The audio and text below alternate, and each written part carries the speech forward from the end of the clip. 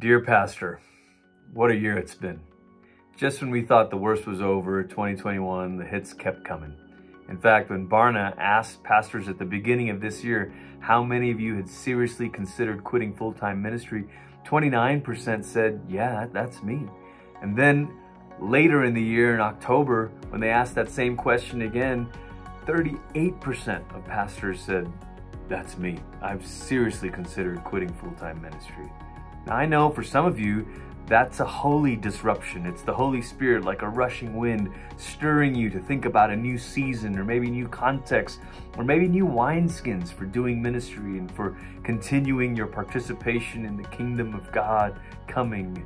But for others of you, that restlessness is the result of this feeling of ache, of longing, of something being wrong. We've all experienced profound disruption and disorientation and discomfort.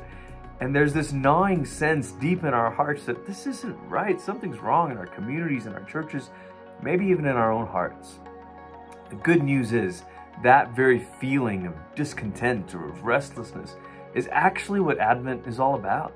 Advent is a season of longing, a season of looking, watching, waiting for God to act. It's a season that reminds us of our hope, our hope that comes from God who alone is our Savior. Advent is that moment where we look back to Christ's first coming and we allow his life and death and resurrection to shape our expectation of his second coming, of his return and reign and renewal of all things. And so as Christians, we live between these two advents, these two arrivals, with a kind of restless, aching, longing, waiting hopefulness. Maybe the invitation for you this Advent is to allow that restlessness to turn into a kind of prayerfulness. I know that's been the desire of my own heart to say, God, in these places where I feel uneasy, lead me toward prayer. Lead my restlessness to prayerfulness. Help me to turn that into that Advent cry Come, Lord Jesus, come. And that's my prayer for you this Advent as well. Take heart. Christ alone can save.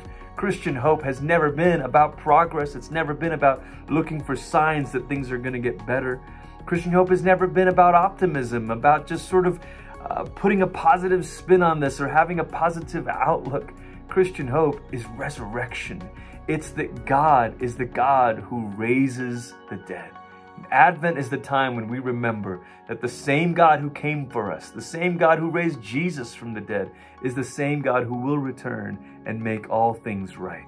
So as we sit in the middle with our restlessness and our ache, turn to prayer, a prayer that prays with the church, Come, Lord Jesus.